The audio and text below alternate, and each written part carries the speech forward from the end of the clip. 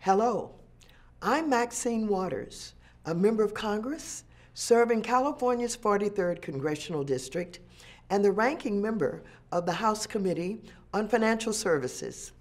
Yesterday, Donald Trump had the audacity to call upon people to set aside differences when in reality he has divided Americans in ways no other modern president has done.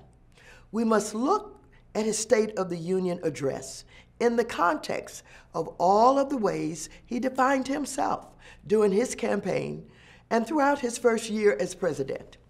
Donald Trump defined himself in his response to the Unite the Right rally in Charlottesville when he defended white supremacists and the KKK, even after a young woman protesting against racism was killed by a white supremacist. After Trump defended white supremacists, targeted Muslims with his travel ban, described Mexicans as rapists, and mocked people with disabilities, it's impossible to believe him when he tries to declare that he wants to bring the country together. One speech cannot and does not make Donald Trump presidential. He's not presidential, and he never will be presidential. He claims that he's bringing people together, but make no mistake, he is a dangerous, unprincipled, divisive, and shameful racist. Trump often works to convince dissatisfied elements in our society that all of their problems are caused by people of color. He stokes racial animosity by referring to black NFL players as sons of bitches and demonizing immigrants from Haiti and Africa. This president, with his vulgarity and his disrespect for women and people of color, is a terrible role model for our children. Whenever he appears on TV, there should be a disclaimer that says, this may not be acceptable for children. Not only has Donald Trump failed on domestic policy, he is leading us in the wrong direction in the world. He withdrew the United States from the Paris Agreement on climate change despite the participation of nearly every country in the world.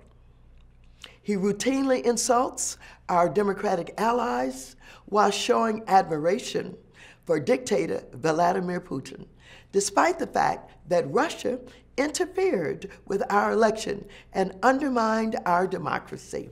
He refused to certify the Iran nuclear agreement, which has prevented Iran from developing nuclear weapons. He is isolating us with his inept trade policies, withdrawing the United States from trade agreements without negotiating viable alternatives. My remarks today are not merely a response to this President's State of the Union address.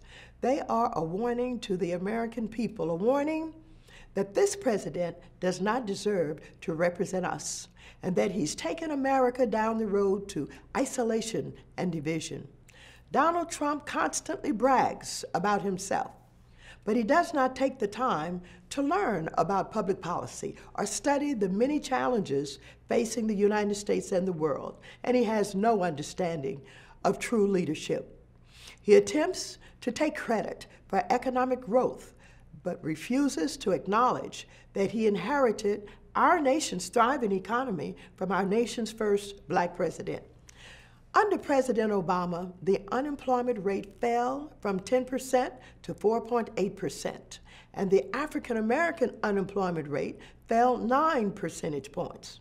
Unfortunately, the Republicans in Congress, led by Paul Ryan and Mitch McConnell, are terribly irresponsible in the way in which they enable him and refuse to confront him and they have abdicated their responsibility to the citizens of this nation by condoning his actions. We, as Democrats, are committed to a growing economy that leaves no one behind.